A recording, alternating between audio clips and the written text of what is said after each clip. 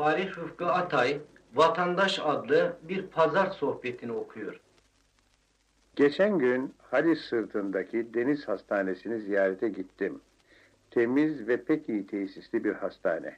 Birinci sınıf mütehassısların elinde ve idaresinde.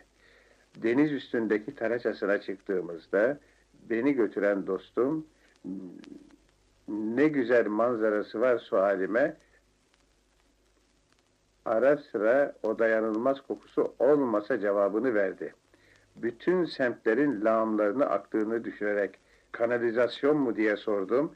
Keşke o olsa daha beter. Bomonti bira fabrikası akıntılarının kokusu ne kadar berbat olduğunu tahmin edemezsiniz. Dünyanın her köşesinde bira fabrikası var. Ne Almanya'da, ne Fransa, ne İtalya hiçbir memlekette şehir halkı böyle bir bira taafününden şikayet etmez. Bildiğiniz üzere batıda dumana da çare bulunmuştur. Kimse fabrika bacasından zehirlenmez veya teneffüs zorluğu çekmez. Size bu sütunlarda anlattığım üzere rahmetli Necmettin Molla, Tarabya'daki büyük korulu köşkünü Beykoz Deri Fabrikası'nın kokusu yüzünden satmıştır.